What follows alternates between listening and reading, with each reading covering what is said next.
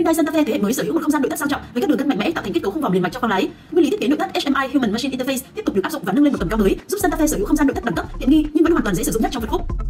Điểm nhấn của chiếc xe là màn hình cảm ứng trung tâm 10,25 inch được thiết kế mới dạng Fly Monitor, màn hình hỗ trợ Android Auto, Apple CarPlay, bản đồ định vị dẫn đường vệ tinh dành riêng cho thị trường Việt Nam cùng các kết nối giải trí quen thuộc như Bluetooth, radio FM, AM, AUX, USB, hỗ trợ file đa định dạng. Đặc biệt, màn hình hỗ trợ hiển thị camera 360 SVM giúp tăng cường khả năng quan sát khi dừng đỗ. Bên cạnh đó, hệ thống 10 loa Harman Kardon cùng âm đi rời hỗ trợ giải mã âm thanh chất lượng cao đi kèm công nghệ Clarify and Quantum Logic độc quyền đem đến trải nghiệm high-end ngay trên xe. Màn đồng hồ trung tâm là màn hình điện tử toàn phần Full Digital 12,35 inch, tùy theo chế độ lái mà cục đồng hồ này có thể hiển thị theo nhiều màu sắc khác nhau. Đồng hồ này có thể tùy biến, đồng thời tích hợp tính năng giám sát điểm mù BVM. Đặt phía trước cục đồng hồ là hiển thị thông tin lên kính lái HUD, head-up display, hiển thị chi tiết các thông tin hữu ích như tốc độ hiện tại, giới hạn tốc độ, cảnh báo vân vân. Chúng ta chỉ việc xoay đúng trung tâm chuyển các chế độ comfort eco sport và smart bốn chế độ tương ứng với độ nặng nhẹ của vô lăng độ nhạy của chân ga tốc độ chuyển số hay tỷ lệ phân bổ trước sau của chuyển động đi kèm với bốn chế độ thay đổi màn hình công tơ đáp ứng tối đa những cái nhu cầu cảm xúc khác nhau của người đó là chế độ chạy trên tuyết chạy bùn lầy và chạy trên cát. Và chế độ này sẽ tác động vào vận hành của động cơ hộp số bộ vi sai Chúng thế mới tiếp tục được duy trì và nâng cấp những tiện nghi cao cấp như cửa sổ trời toàn cảnh panorama, sạc không dây chuẩn quy, hệ thống ghế chỉnh điện và ghế, hệ thống giấy vô lăng, giấy và thông gió hàng ghế trước để chuyển số vô lăng, làn mưa tự động, kính trước chống mù và chống đọng nước tự động, cổng sạc hiệu suất cao trên các hàng ghế, phanh tay điện tử EPP, giữ phanh tự động auto hold vân vân, đem đến một không gian sang trọng và tiện ích trên khắp các vị trí.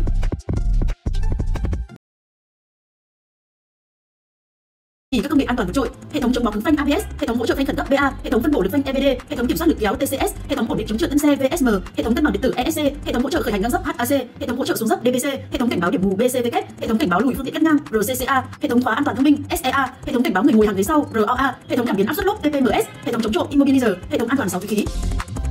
Đáng chú ý trên New Santa Fe chính là gói công nghệ an toàn Smart Sense với nhiều tính năng mới. Hệ thống hỗ trợ giữ làn đường LFA, LFA sử dụng camera quan sát phía trước, từ các dữ liệu thu thập được sẽ tác động đến vô lăng, giúp xe giữ đúng làn vận hành, tránh gây nguy hiểm đến các phương tiện xung quanh.